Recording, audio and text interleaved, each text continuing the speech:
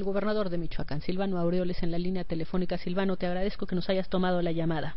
Gracias, Denise. Buenas tardes, con mucho gusto. Bueno, hay varias cosas. Uno, esto que nos mencionaba Paco García Davish, eh, existían antecedentes. Incluso, Silvano, sabemos eh, que el PRD inicialmente había pensado apoyar esta candidatura de Juan Carlos Arreigue, Arreigue eh, para, presidente municipal justamente de Álvaro Obregón y que en, en, este proceso de tratar de, pues de pedirle información a la Secretaría de Gobernación y de dilucidar si algunos de sus candidatos podían justamente tener vínculos con el crimen organizado, ¿recibieron algún tipo de información, Silvano? ¿Qué fue?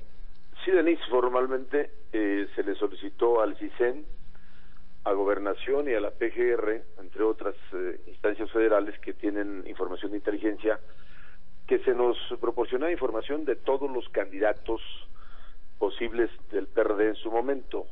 El caso particular de, del alcalde de Álvaro Obregón eh, ahora este, detenido, se tuvo información que lo vinculaban con algunos ah, algunas actividades ilícitas o vínculos con algunos grupos delincuenciales o algún grupo particularmente en ese tiempo que era el dominante los eh, caballeros templarios y la instancia del partido a nivel nacional decidió retirarle la candidatura ese fue el proceso es decir él ya era candidato del PRD y se le retiró la candidatura cuando se tuvo esta información de inteligencia del CISEN. Y posteriormente apareció él ya como candidato de otro partido y bueno, por la historia que sí, tú ya la conoces. Entonces, pero yo te diría que amén de el tema de quién lo postuló, de que haya pasado en términos electorales, para mí lo importante es que eh, un hecho de esta naturaleza que lo vincula eh, con eh, la privación de la vida de estas personas y este hecho lamentable que del que nos ha tenido ocupados en las últimas horas y días, pues no puede haber impunidad ni, ni, puede haber titubeos, sino tenemos que ir a fondo hasta encontrar todo lo que hay en torno a este hecho tan lamentable.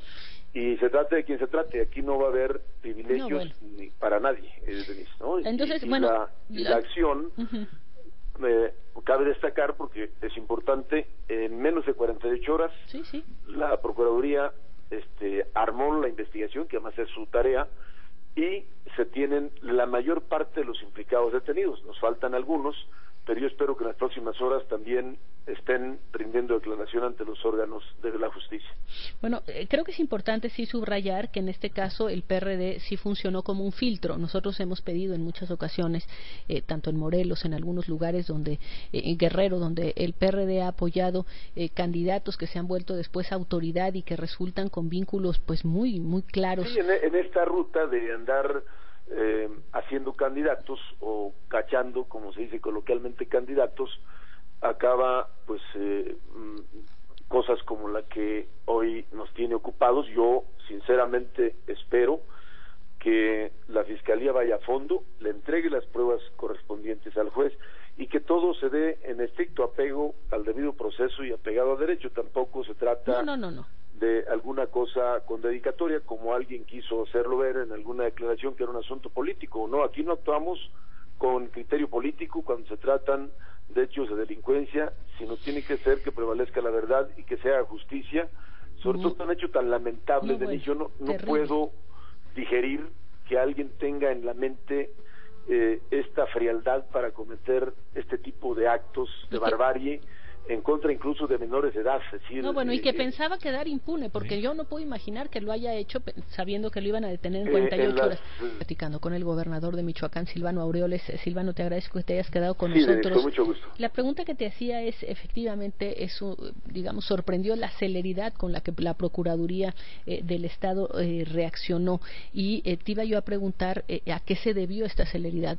Uno es los testimonios, dos, quizá antecedentes, tres, eh, entiendo que ya había eh, información acerca de un diferendo incluso personal entre el alcalde y una de las personas en concreto eh, que fueron asesinadas. Sí, fíjate que inicialmente el sábado por la mañana que aparece este macabro hecho, la primera hipótesis que pues incluso empezamos a analizar es que se trataba de una explosión por estar ubicada la unidad incendiada cerca de los ductos de Pemex, cuando con frecuencia se dan delitos de ordeña de estas eh, líneas de conducción.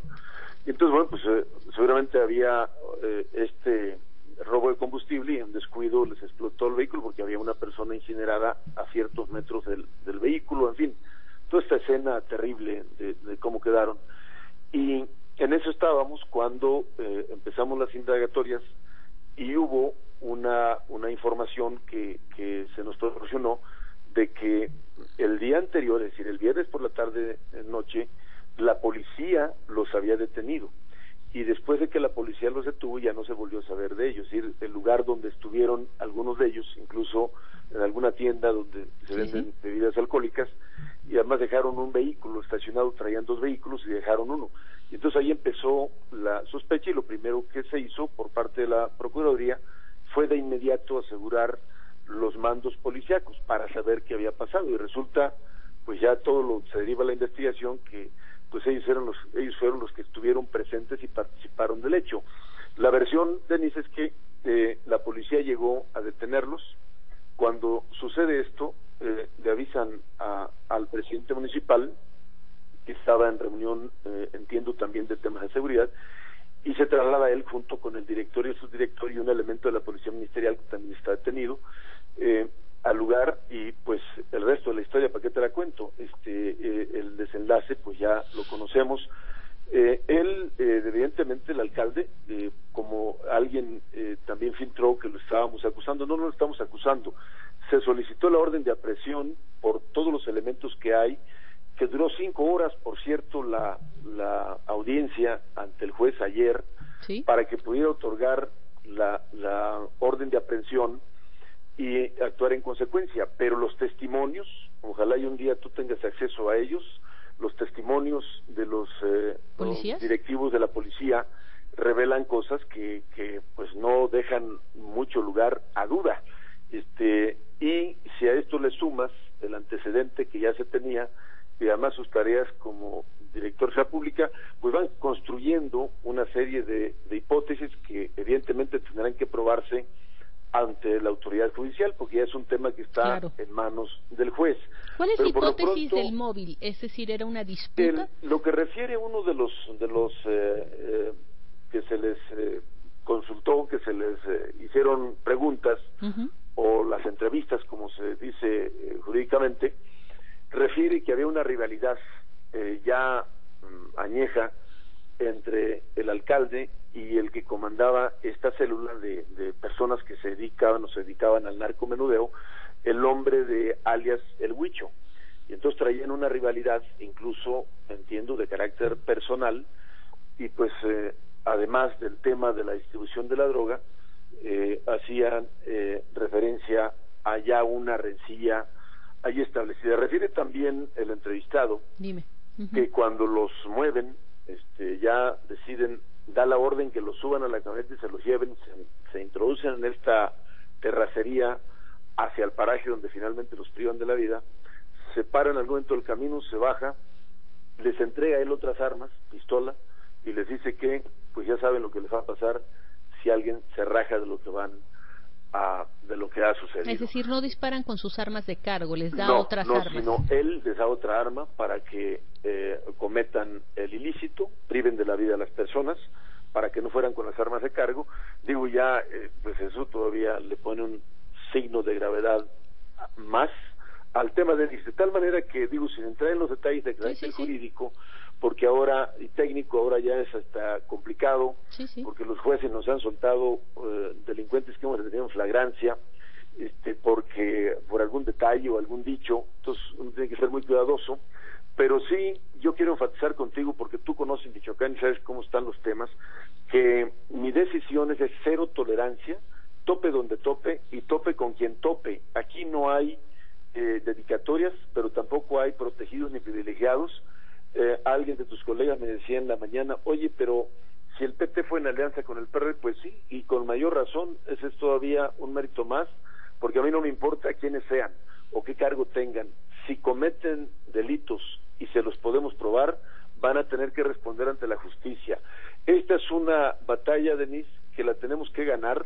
Yo voy y no me paro, no me voy a rendir, así como lo estoy haciendo en los casos tú lo conoces en Zenobio Moreno o en Úspero. Ayer instalamos también la base de operaciones en Pinzándaro y seguramente esta semana estaré yo personalmente supervisando los trabajos, este, no le vamos a parar hasta no limpiar a Michoacán de este tipo de delincuentes que generan terror, que generan pánico, que ahuyentan la inversión y que meten en una ruta Michoacán que no merece. Silvano, eh, hay un tema que te quería yo consultar y que ayer lo platicábamos. Eh, desde luego llega el gobierno federal, pone a un eh, comisionado, comisionado especial, se hace una batalla en la cual participa, por cierto, el que es actualmente tu procurador, y eh, efectivamente logran derrotar, eh, si se puede decir así, a los caballeros templarios, a la, digamos, los descabezan y les quitan enorme poder. Sin embargo, parecería que ese espacio que se genera, ese momento, digamos, en donde todavía ningún grupo criminal llenaba el espacio de los caballeros templarios, no, es, no se llena por el gobierno federal, es decir, o por el gobierno estatal. Eh, los proyectos productivos no todos se llevan a cabo, por no decir que casi ninguno, y se, se genera un vacío, y ese vacío no lo llena el gobierno. Parece ser que nuevamente están llenando los grupos, el cártel Jalisco Nueva Generación y algunos... No, Denise, no, aquí en Michoacán digo ahí difiero, perdóname, no, pregunta, no, no estaba yo No, en absoluto. Aquí, afortunadamente para Michoacán, no hay ningún cártel que domine regiones o controle eh, zonas o autoridades. Aquí vamos parejo. Quien violente la ley e intente desafiar al Estado se va a enfrentar con la autoridad y con la ley y no vamos a permitir que vuelvan a establecerse eh, gobiernos paralelos o poderes fácticos que dominen regiones o municipios. Y tan es así que eh, no hay eh, distinción y no hay tregua, Denise. Es correcto porque descabezaron a los caballeros templarios, pero pues eh, son un monstruo de mil cabezas. Sobre todo hay varios todavía eh, que intentan reagruparse o comandan células de todo este grupo que el Chayo en su momento mandó formar con una doctrina eh, fundamentalista formados en, en, Medio Oriente que todavía algunos andan por ahí intentando reorganizarse, pero no se los vamos a permitir. Silvano, no tú me dirías... Michoacán a vivir esa, esa, esa época y aquí hay gobierno y se van a enfrentar con la autoridad. Silvano, nada más. La pregunta te la hago directiza. No hay en este momento en Michoacán, según tú, ningún municipio que esté eh, completamente controlado por un grupo criminal. Ninguno, Denise, ninguno. Y el que yo me entere personalmente comando las acciones, porque no lo vamos a, no lo voy a permitir, es mi reto, garantizar a la michoacana, a los michoacanos la seguridad y demostrar que sí se puede. Sí hay dificultades porque, por ejemplo, eh, hemos tenido, Michoacán ha tenido el apoyo del gobierno de la República, nos está apoyando el ejército, la marina, sin duda, el problema que, social que se ha vivido con la gente hizo que mermara la presencia de la Policía Federal por unas semanas, pero me han informado que están de retorno. Vamos a fortalecer la capacidad de fuerza y el pero el gobierno del estado va a asumir la parte que le toca. La historia de que uh, eso es tema del gobierno federal y que a nosotros no nos toca, que es un tema de competencias, no. El gobierno de Michoacán le va a hacer frente con todo para garantizar la seguridad de los michoacanos. Muy bien, pues te agradezco muchísimo. Gracias, Silvano. Te mando un abrazo, Denise, y a ver qué día nos acompañas acá a la zona de Apatzingán y, y Parácuaro para los modelos estos de desarrollo. Te agradezco, gracias, cómo no, gracias. Un abrazo, estamos pendientes.